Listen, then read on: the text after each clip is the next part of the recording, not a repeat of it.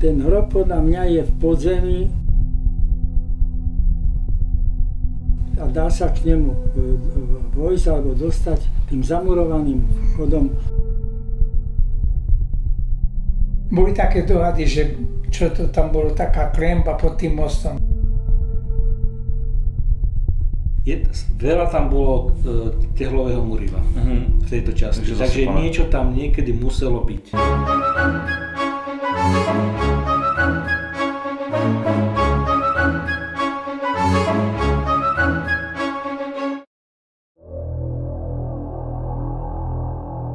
Alžběta Bátoriová, předmět dohadů i víc než čtyři století po její smrti.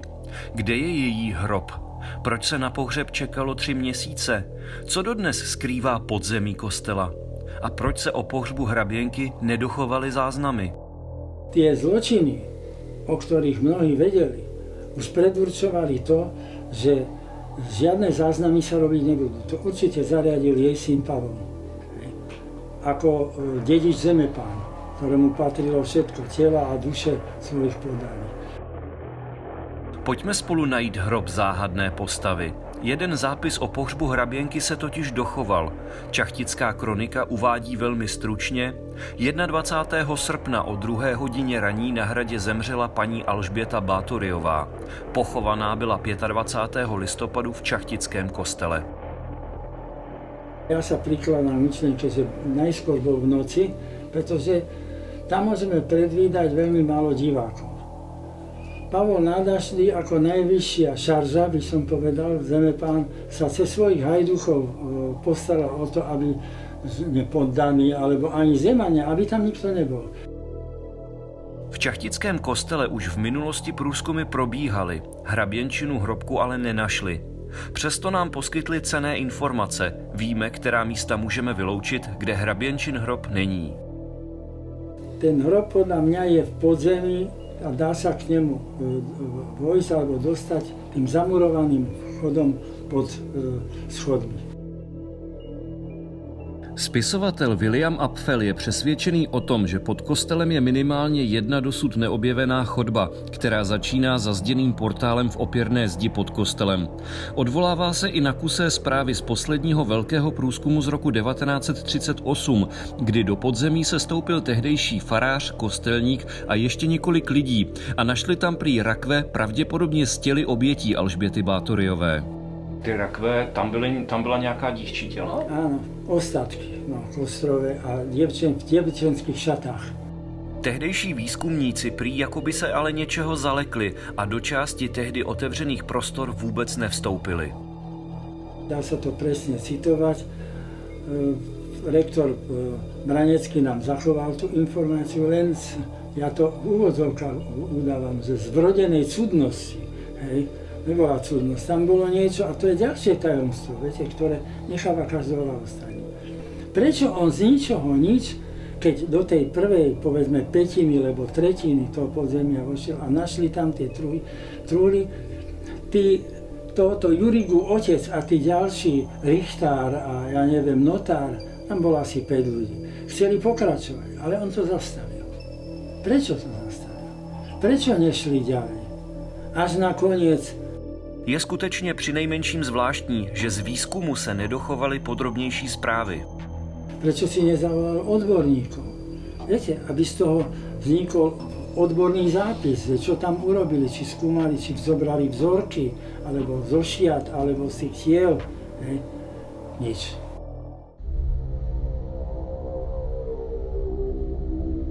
Podařilo se mi najít pamětníka výzkumu z roku 1938. Adolf Juriga, syn tehdejšího kostelníka a pozdější dlouhodobý kostelník si na práce částečně pamatuje. To bylo rok 1938. Áno, áno, áno. Kolik vám bylo? Sedem. Podle Adolfa Jurigy se těsně před válkou otevíralo hned několik prostor, mimo jiné vstup pod jižními schody do kostela a také krypta pod jeho západní částí. Tam museli dať schody preč, lebo to už vtedy sa nepoužívali tie schody, keď sa tam pochovávalo, ale potom už tie schody tam museli upraviť, vchod do toho kostola, tak tie schody boli rozobrané a tady sa išlo do tých krypt a a tam zjistili ty rakvy, jak byly tam poukladané. Jak je to s onou podivnou klenbou v opěrné zdi? Možnosti jsou dvě. Buď skutečně jde o zazděný vstup do podzemí, anebo bylo třeba spevnit opěrnou zeď při stavbě mostu z Fary. Byly také dohady, že čo to tam bylo taká klemba pod tím mostem, no, možná, že jste se všimli.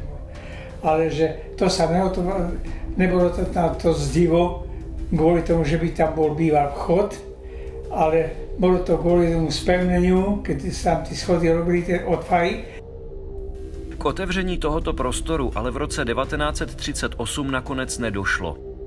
Je možné, že tam tie podzemné priestory nejaké boli a je to dosť pravdepodobné, pretože ľudia sa museli aj niekde schovávať a to upevnenie bolo na to vtedy robené. Všetko je možné. Len čo sa týka tam toho oblúka, toho priestoru pod tým hradami, takto, ono to vlastne bol kedysi, to, na tom mieste bol, je to preto zvláštne, že na tom mieste bol kedysi ten, neviem, či to mám nejakú takú fotku, bol ten oporný, oporný pilier. Z podzemí kostela známe jen části a také víme, že od dob Alžběty Bátoriové prošel velkou přestavbou. To je vlastně celý ten kostol. Uh-huh. Začiat z Bátoričky on bol potiaľto. Veža neexistovala. Hlavný vchod do kostola bol tadialto a tu bolo to schodisko. Ako je to, ako je to na tej rytine starej názorne. Toto, toto je vlastne rytina z doby Bátoričky. Uh-huh. Takže ten kostol ešte nemal väžu, tá je dnes postavená tu na, predtým, tá celá väža. Mala, mala iba takúto striežku s prielbicou. Zatím největší nalezená krypta je pod západní částí kostela. Pokud jsou pod kostelem oběti Alžběty Bátoriové, jsou právě zde. No a tie pôvodné hrobky, čo sa o ktorých, ktorý, ako vieme, tu je tá pod vežou. Pod schodmi našli v roku 1938 túto pozreli, túto boli, tam sa vtedy dostali a túto takisto boli. No a tieto hrobky sme našli my a potom ešte sme našli jednu ďalšiu hrobku úplne náhodne vrtmi túto pod schodami. To je zase zemianská hrobka, ktorá, ktorá je tu na a tu jedinú som nakoniec spravil, že mám prístupnú.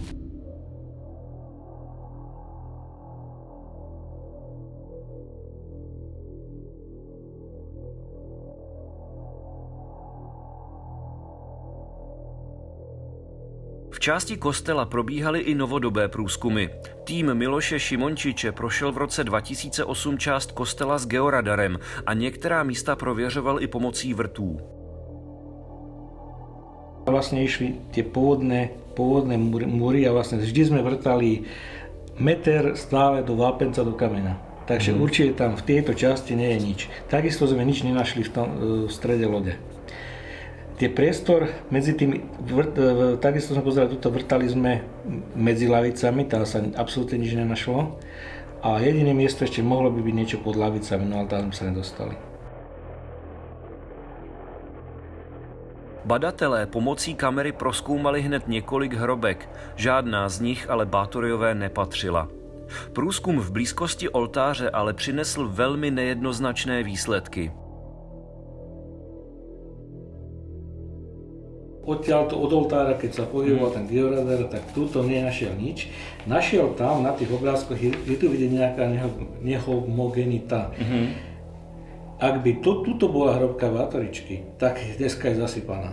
Mm-hmm. Ale robili sme to vrty, je, veľa tam bolo e, tehlového muriva mm-hmm. v tejto časti. Takže, Takže niečo tam niekedy muselo byť.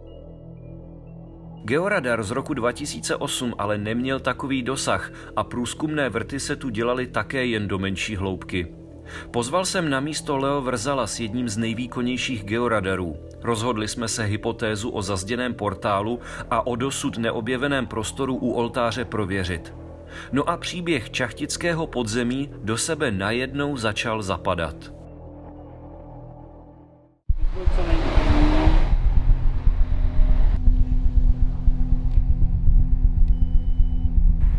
Co vidíme? Je tam díra.